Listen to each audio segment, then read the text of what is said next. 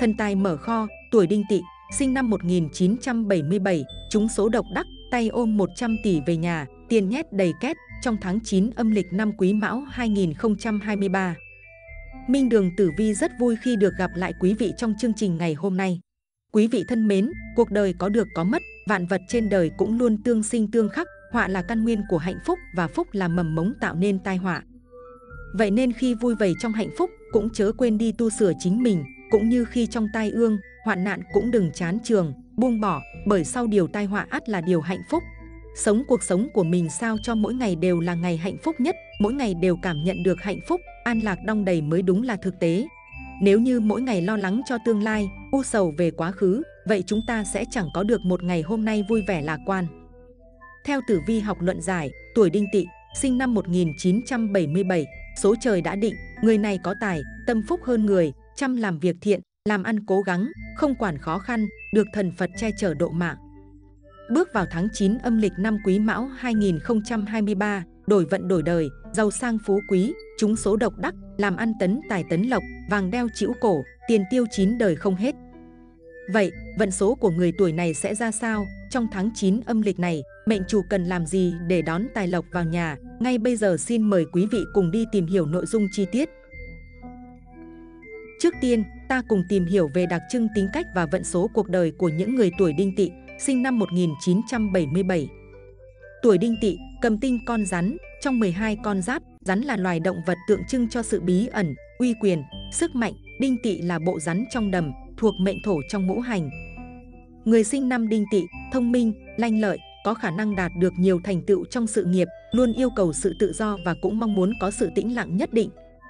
Sự xuất hiện của rắn thường liên quan đến phúc đức, nên người đinh tỵ mang trong người nhiều sự nhạy cảm về tâm linh. Đinh tỵ sinh năm 1977 là người có khả năng giao tiếp giỏi, năng động, sôi nổi, họ cẩn trọng, thích những thứ hoàn hảo, hoàn mỹ và có một gu thẩm mỹ tinh tế. Họ có thể công khai bày tỏ quan điểm của mình và áp đặt điều đó cho người khác. Đinh tỵ là con giáp có khả năng thay đổi quan điểm của những kẻ cứng đầu nhất. Đinh tỵ dễ bị căng thẳng, hay nói cách khác có thần kinh khá nhạy cảm. Đinh Tị rất khó tin tưởng người khác, khi đã tin tưởng ai đó, họ sẽ hướng một lòng về người đó, đặt sự tín nhiệm, phó thác vào người đó. Điều này khiến Đinh Tị rất hay cảm thấy bị tổn thương khi xảy ra mâu thuẫn với người thân. Đinh Tị là người có khả năng phán đoán và nắm bắt thời cơ, rất giỏi trong việc tận dụng, thay thế để ứng biến với thời cuộc. Đinh Tị là bộ lột xác nên Đinh Tị rất dễ thích nghi với mọi hoàn cảnh, rất biết cách vươn lên trong gian khó. Thống kê cho biết, rất nhiều Đinh Tị sinh năm 1977 trở thành tỷ phú do chăm chỉ làm ăn. Đinh là thuộc hỏa, tỵ thuộc hỏa, mà nạp âm của đinh tỵ là hành thổ, cho nên đinh tỵ có khá nhiều may mắn trong cuộc sống hay được quý nhân giúp đỡ. Đinh tỵ rất chăm chỉ làm ăn, cộng thêm bản thân là người khéo léo, tinh tế, có khả năng ứng biến trong mọi công việc nên thường có nguồn thu nhập ổn định, kinh doanh thuận lợi. Người sinh năm đinh tỵ cẩn trọng, thích những thứ hoàn hảo, hoa mỹ và có gu thẩm mỹ tinh tế. Trước hung vận, đinh tỵ rất dễ lung lay, họ rất ghét những chuyện ồn ào, náo loạn hay xô bồ, luôn cố gắng giữ bản ngã của riêng mình. Đinh Tỵ có vận tốt, cát lợi khá nặng nên không sợ phải đói kém. Tuổi Đinh Tỵ nói năng rất nho nhã, lễ độ, lịch sự và khôn khéo. Cả nam và nữ Đinh Tỵ khi yêu tuy có rất nhiều cảm xúc nhưng lại không phải là một người trung thủy. Họ rất dễ có những mối quan tâm ngoài luồng. Ngoài ra Đinh Tỵ còn có tính chiếm hữu cao. Họ đòi hỏi một tình yêu tuyệt mỹ dẫn đến hệ lụy trong hôn nhân. Đinh Tị sinh năm 1977, luôn là người đưa ra quyết định trong mối quan hệ song phương, tức là khi bạn chơi với Đinh Tị, bạn nên dành cho họ một khoảng thời gian để họ quyết định và đưa ra ý kiến. Họ rất thích làm chủ, nên khi bị ép buộc phải làm theo một kế hoạch nào đó mà không có sự quyết định của họ thì họ sẽ rất khó chịu. Những đức tính này sẽ rất có lợi khi áp dụng vào công việc kinh doanh. Đinh Tị rất khôn khéo và họ luôn luôn là người giữ thế chủ động trong các cuộc thương thảo. Họ rất có tài trong việc thuyết phục, thương lượng với người khác, có thể trở thành nhà ngoại giao xuất sắc. Tiếp theo là vận trình tổng quan tháng 9 âm lịch của tuổi Đinh Tị sinh năm 1977. Đối với người tuổi Đinh Tị tháng 9 năm 2023 âm lịch, được dự báo là thời điểm vận khí của bản mệnh có nhiều sự tăng tiến, hứa hẹn có nhiều tin vui tìm tới cửa. Nhìn chung, mọi việc bắt đầu đi vào guồng, đòi hỏi bạn cần có sự tập trung để phát huy ở mức cao nhất. được Tam hội và Nguyệt lệnh Lâm Đế vượng ủng hộ, công việc khởi sắc làm gì cũng hanh thông, dễ thành công, cứ kiên trì thì chắc chắn có thể đạt được kết quả tốt đẹp. Sức sáng tạo của bản mệnh cũng được dịp thể hiện để dành nhiều ý tưởng hữu ích cho công việc và được đánh giá cao. Dù là người đang công tác trong cơ quan nhà nước hay doanh nghiệp tư nhân thì đều có cơ hội như nhau, miễn là bản thân có sự nỗ lực và cầu tín. Giai đoạn quan trọng như thế này, đừng bỏ lỡ thời cơ tốt đẹp mà mình đang may mắn sở hữu. Do công việc thuận lợi nên tài lộc cũng theo đó mà khởi sắc, các mối quan hệ hợp tác phát triển mạnh mẽ. Người buôn bán kinh doanh sẽ rất bận rộn và ký kết được nhiều hợp đồng lớn, mở rộng quy mô sản xuất, thu về nguồn lợi khổng lồ. Vận khí vượng nên chuyện tình cảm cũng hứa hẹn có nhiều tin vui bất ngờ, mối quan hệ đôi lứa ngày càng thăng hoa. Gia đình vợ chồng hạnh phúc, mọi nút thắt đều được mở ra, khiến tâm tư tuổi này thoải mái, làm gì cũng thấy vui vẻ và thuận lợi hơn. Ngũ hành bản mệnh tương sinh với ngũ hành tháng, giúp tinh thần tuổi đinh tỵ phơi phới, thể chất ổn định, hầu như không phải lo lắng điều gì cả. Trạng thái tinh thần phấn chấn cũng rất tốt cho những người mới ốm dậy hoặc mới tiến hành phẫu thuật sẽ phục hồi nhanh chóng, cơ thể khỏe mạnh, chẳng mấy chốc mà quay lại với nếp sinh hoạt thường nhật. Dựa trên mối tương quan giữa đương số và lưu niên tháng, đồng thời xét tác động mạnh yếu của hệ thống sao chiếu mệnh mà đoán định hung cát của tuổi đinh tỵ. Thông qua bốn phương diện chính là sự nghiệp, tài lộc, tình duyên và sức khỏe, cụ thể như sau. Về mặt sự nghiệp, xem tử vi tháng 9 năm 2023 của 12 con giáp, người tuổi đinh tỵ được cục diện tam hội thái tuế, kết hợp với nguyệt lệnh lâm đế vượng che chở, công việc tiến triển thuận lợi, sự nghiệp gặt hái không ít thành công lớn, mang về cả danh tiếng và tiền bạc. Các kế hoạch dù là mới tiến hành hay tái khởi động đều diễn ra trôi chảy, bạn không cần quá vất vả nhưng vẫn có thể đạt được kết quả mà mình mong muốn. Nhìn chung, mọi việc bắt đầu đi vào guồng, đòi hỏi bạn cần có sự tập trung để phát huy ở mức cao nhất. Sức sáng tạo của bản mệnh cũng được dịp thể hiện, đưa ra nhiều ý tưởng hữu ích cho công việc và được đánh giá cao. Dù đôi khi bạn vẫn có những ý tưởng bất đồng, song không thể phủ nhận tính đóng góp và nhiệt huyết của con giáp này. Tuổi đinh tỵ hãy cố gắng và nỗ lực thật nhiều để chớp lấy thời cơ thăng tiến trong tháng 9 âm lịch này, có như vậy vận xui phải chịu trong năm phạm thái tuế có thể giảm bớt phần nào. Thời điểm này, bản mệnh cứ kiên trì thì chắc chắn có thể đạt được kết quả tốt đẹp, dù là người đang công tác trong cơ quan nhà nước hay doanh nghiệp tư nhân, thì đều có cơ hội như nhau, miễn là bản thân có sự nỗ lực và cầu tiến. Giai đoạn quan trọng như thế này, đừng bỏ lỡ thời cơ tốt đẹp mà mình đang may mắn sở hữu nhé. Do công việc thuận lợi, nên tài lộc cũng theo đó mà khởi sắc, các mối quan hệ hợp tác phát triển mạnh mẽ. Người buôn bán kinh doanh sẽ rất bận rộn và ký kết được nhiều hợp đồng lớn, mở rộng quy mô sản xuất, thu về nguồn lợi khổng lồ. Tất nhiên, áp lực là thứ không thể thiếu, chẳng có con đường nào tới thành công trải toàn hoa hồng, song con giáp này dám chấp nhận thử thách để có được thứ mình muốn. Sự xuất hiện của dịch mã động tinh thôi thúc bản mệnh sông sáo, chủ động tiên phong trong mọi việc, điều đó đồng nghĩa là những chú rắn sẽ có một tháng bận rộn, nhưng bù lại có nhiều cơ hội khẳng định tài năng, phát triển sự nghiệp. Hơn nữa, con giáp này có tinh thần trách nhiệm cao trong công việc, làm gì cũng chu toàn, nên vận quý nhân khá vượng. Do hữu bật xuất hiện, bạn hễ dự tính làm gì sẽ thực hiện bằng được, tỷ lệ thành công cao, được cấp trên tin tưởng giao nhiều trọng trách. Về mặt tài lộc Tử vi tháng 9 năm 2023, tuổi đinh tỵ âm lịch cho thấy công việc thuận nên tài lộc của bản mệnh cũng có nhiều khởi sắc theo đó. Thu nhập chính có dấu hiệu tăng tiến khi các khoản lương thưởng được điều chỉnh. Ngoài ra, bản mệnh còn có nguồn thu phụ, kinh doanh buôn bán đều có tin vui báo về. Các mối quan hệ hợp tác phát triển mạnh mẽ, người buôn bán kinh doanh sẽ rất bận rộn vì ký kết được nhiều hợp đồng lớn, mở rộng quy mô sản xuất thu về nguồn lợi khổng lồ. Tháng này có ảnh hưởng từ dịch mã động tinh, đồng nghĩa là bản mệnh tất bật, vất vả trong sự nghiệp cũng như công cuộc làm giàu. Nhưng bù lại tài lộc càng vượng, chính tài và thứ tài đều có thu hoạch nhất định, kiếm được nhiều và nhanh hơn. Có điều, trong tháng có họa phá tài, kiếp tài hung thần báo hiệu cho con giáp này phải chi tiêu khá nhiều tiền bạc, không phải cho chi phí sinh hoạt thì cũng là những chuyện bất ngờ phát sinh. May mắn là các khoản thu nhập chính phủ ổn định nên bạn có thể trang trải cuộc sống ổn thỏa, song vẫn nên có kế hoạch quản lý tài chính hợp lý. Cho vay mượn cần đúng người, đúng việc, chớ nên vì nhẹ dạ mà cả tin, đưa tiền cho những người không xứng đáng. Những người làm kinh doanh cũng nên lưu ý tiến hành mọi thứ theo kế hoạch, thận trọng từng bước một, chứ đừng nhanh nhanh ẩu đoảng mà nhận phải cái kết đắng. Về mặt tình cảm, gia đạo Sang tháng 9 âm, tháng có tam hội mang về nhiều tin vui về đường tình duyên của con giáp này, mối quan hệ đôi lứa ngày càng thăng hoa. Gia đình vợ chồng hạnh phúc, mọi nút thắt đều được mở ra, khiến tâm tư tuổi này thoải mái, làm gì cũng thấy vui vẻ và thuận lợi hơn. Các cặp đôi đang trong quá trình tìm hiểu, sẽ đi đến quyết định mới về mối quan hệ của mình, trải qua nhiều thử thách. Cả hai đều khá chắc chắn về tình cảm của bản thân, có thể xem xét để về ra mắt hai bên gia đình, dần tính tới chuyện tương lai. Đặc biệt, Nguyệt lệnh lâm đất đế vượng sẽ mang may mắn cho các cặp vợ chồng đang chờ đón tin bầu bí đã lâu. Với người độc thân, thời cơ cũng đã tới, hãy tạm dừng công việc trong tay để nhìn ra thế giới xung quanh mình, biết đâu có người vẫn luôn thầm lặng dõi theo bạn. Còn nếu đã có sẵn đối tượng trong lòng, hãy mạnh dạn bày tỏ tình cảm của mình, kết quả ra sao cũng không quan trọng. Miễn là bạn đã nói ra đúng tâm tư của mình, thì sau này sẽ không có gì phải hối tiếc. Về mặt sức khỏe, tháng này, Nguyệt lệnh lâm đế vượng ở Đinh Tỵ, lại thêm ngũ hành bản mệnh tương sinh với ngũ hành tháng, giúp tinh thần tuổi Đinh Tỵ phơi phới, thể chất ổn định, hầu như không phải lo lắng điều gì cả. Trạng thái tinh thần phấn chấn cũng rất tốt cho những người mới ốm dậy hoặc mới tiến hành phẫu thuật, sẽ phục hồi nhanh chóng, cơ thể khỏe mạnh, chẳng mấy chốc mà quay lại với nếp sinh hoạt thường nhật. Dù vậy, bạn vẫn nên hết sức lưu ý với sự xuất hiện của dịch mã động tinh, báo hiệu sự tất bật, vất vả không báo trước. Bạn nên chú ý cân bằng thời gian nghỉ ngơi và làm việc, ăn uống, ngủ nghỉ đúng giờ để luôn đảm bảo thể trạng tốt nhất. Dưới đây là vận trình tử vi chi tiết từng tuần và cẩm nang vượng vận dành riêng cho tuổi đinh tỵ, sinh năm 1977, trong tháng 9 âm lịch 2023. Tử vi tuần 1, tuổi đinh tỵ, tháng 9 âm lịch 2023.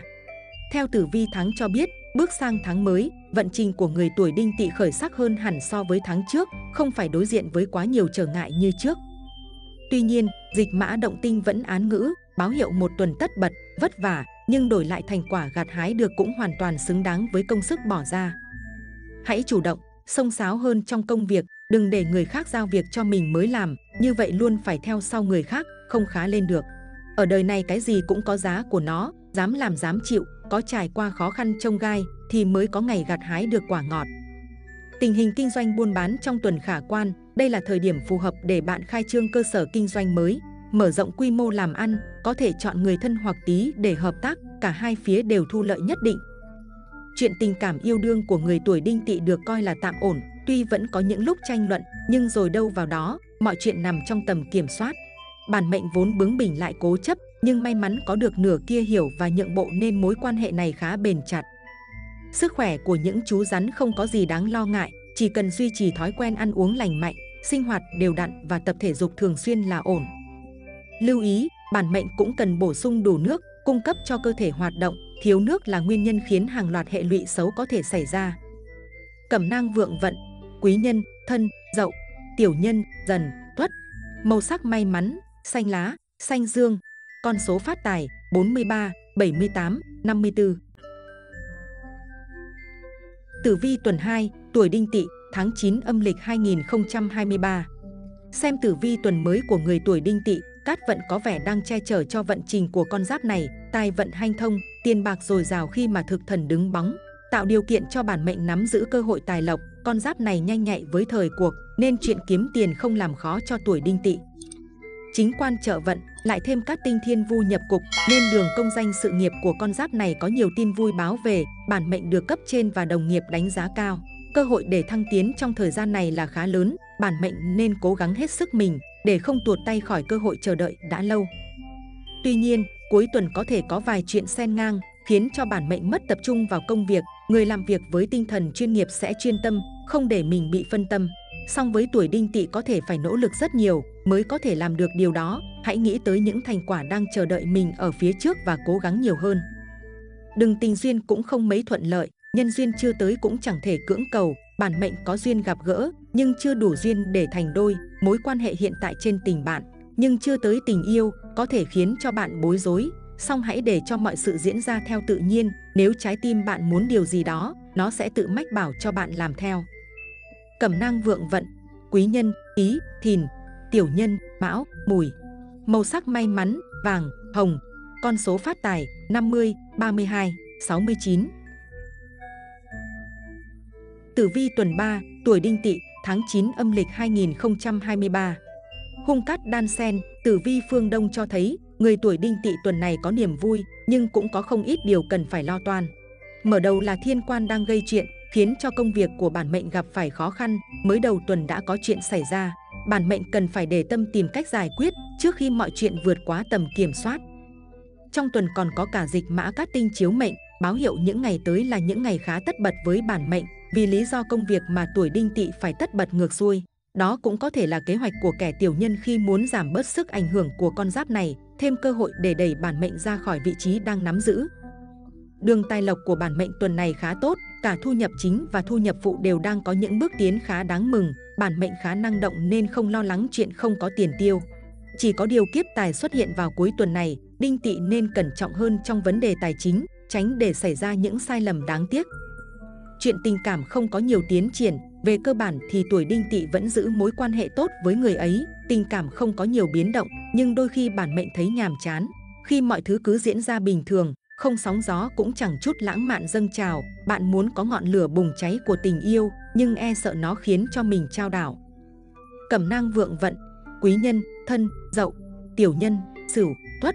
Màu sắc may mắn, tím, trắng. Con số phát tài, 22, 08, 96. Tử vi tuần 4, tuổi đinh tỵ, tháng 9 âm lịch 2023. Với người tuổi đinh tỵ, tử vi tuần thấy rằng thiên đức cát tinh đang đi theo và hỗ trợ cho đường công danh của con giáp này. Bản mệnh thuận lợi giành được những mục tiêu đã định và có thể sẽ nhanh chóng ngồi vào vị trí mà bạn đang mong muốn, khao khát suốt bao lâu nay. Ấn quan kết hợp với nhau, tạo ra một bộ đôi vững chắc và bảo vệ tuổi đinh tỵ khỏi những bất chắc trên con đường tiến tới thành công.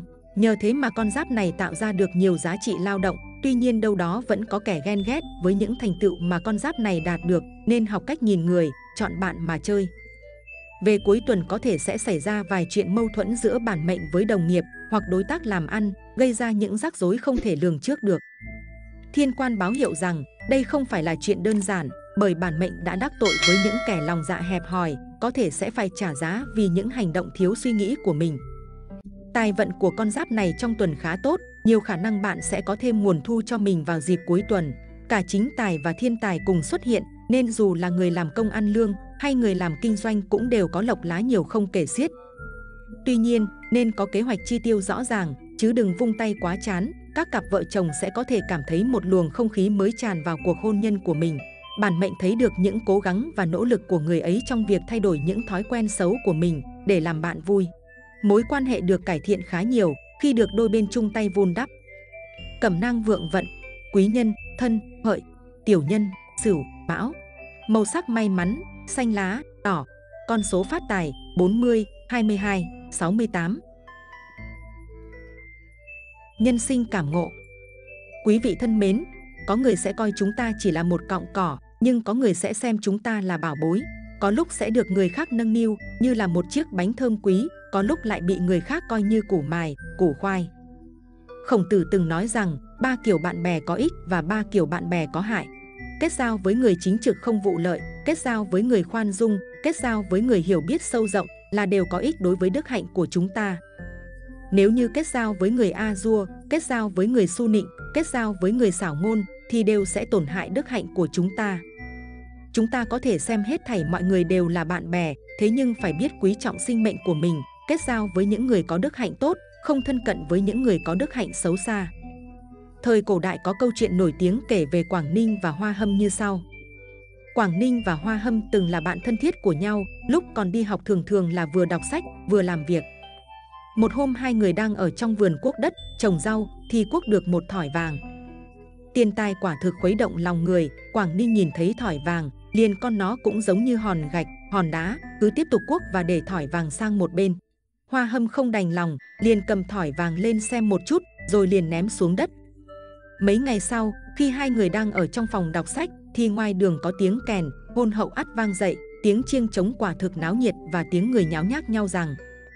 Có vẻ quý nhân ngồi xe đi qua, Quảng Ninh mắt điếc tai ngơ, tiếp tục chăm chú đọc sách, nhưng Hoa Hâm lại ngồi không yên, liền bỏ sách chạy ra xem. Khi xe ngựa đã đi qua, Hoa Hưng trở lại trong phòng, Quảng Ninh cầm một con dao nhỏ, cắt đôi chiếc chiếu mà hai người ngồi chung ra và nói, ngươi không phải là bạn của ta. Nhiều năm sau, Hoa Hâm trở thành nhân vật quan trọng trong triều đình, làm trọng thần nước Ngụy thời Tam Quốc.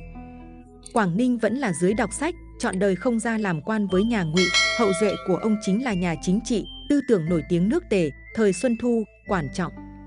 Mỗi người có một chí hướng, việc tuyệt giao bạn bè của Quảng Ninh là nói rõ ra nguyên tắc làm người của ông, chân quý phẩm đức của bản thân mình. Điềm cố này nói cho chúng ta biết rằng, con người khi còn sống trên đời thì không thể đánh mất bản thân, không thể để tâm động vì những điều hấp dẫn bên ngoài. Đời người có rất nhiều thứ mà vĩnh viễn chúng ta không thể có được, vậy nên càng phải quý trọng những thứ mà mình đã có. Hãy trân quý cha mẹ mình. Khi chúng ta còn nhỏ, cha mẹ chính là bầu trời của chúng ta, cho chúng ta một gia đình ấm áp, dạy chúng ta những đạo lý làm người, những bài học vỡ lòng. Mãi đến khi chúng ta trưởng thành, cha mẹ vẫn luôn ở bên, cho chúng ta những điều tốt đẹp nhất. Tình yêu thương của cha mẹ chính là tài phú của cuộc đời con cái. Hãy trân quý những người mà chúng ta đang có. Chúng ta hiểu rằng, trong cuộc đời này gặp được ai đều là vì duyên phận, đặc biệt những người có thể ở bên mình. Chia ngọt sẻ bùi, có phúc cùng hưởng, có nạn cùng chịu, khi ấy chẳng phải duyên phận đáng quý sao. Khổng tử nói, đức bất cô, tất hữu linh. Ý nói rằng, người có đức thì sẽ không lẻ loi, tất sẽ có bạn. Hãy quý trọng con cái, trẻ con là nhân duyên, là tìm đến con cái để có nơi nương tựa. Trong mắt trẻ, cha mẹ chính là ông trời, con cái luôn tuyệt đối tin tưởng ở cha mẹ. Vì thế, cha mẹ nên làm bạn với con, cho chúng cảm giác an toàn, cho chúng hoàn cảnh ban đầu tốt đẹp, trợ giúp chúng bước đi vững chắc trên con đường nhân sinh. Hãy trân quý người dạy dỗ mình, đời người có thể gặp được người dạy dỗ, hướng dẫn, chỉ bảo mình là điều may mắn, một người có thể thành thạo được một nghề là có thể có khả năng sinh tồn. Hãy đừng quên quý trọng tín ngưỡng của bản thân. Tín ngưỡng là phương pháp cho chúng ta tìm kiếm được sự an tĩnh về tâm linh. Con người bởi vì có tiếng người mới biết được ý nghĩa tương lai và trốn trở về chân chính của sinh mệnh. Đó là con đường thành Phật chỉ ra để chúng ta không bị mê lạc mất. Vâng, quý vị thân mến, vừa rồi là tử vi tháng 9 âm lịch năm Quý Mão 2023 của tuổi Đinh Tỵ, sinh năm 1977. Hy vọng quý độc giả sẽ có được cho mình những thông tin hữu ích về tử vi tháng 9 âm lịch năm 2023 này. Quý vị đừng quên bấm like, đăng ký kênh và nhấn chuông để nhận được nhiều thông tin hữu ích từ chúng tôi nhé. Trước khi khép lại chương trình, Minh Đường Tử Vi chúc quý vị tháng mới luôn may mắn, bình an, bứt phá về tài lộc, giàu sang, phú quý. Chương trình đến đây là hết. Xin chào và hẹn gặp lại trong những chương trình lần sau.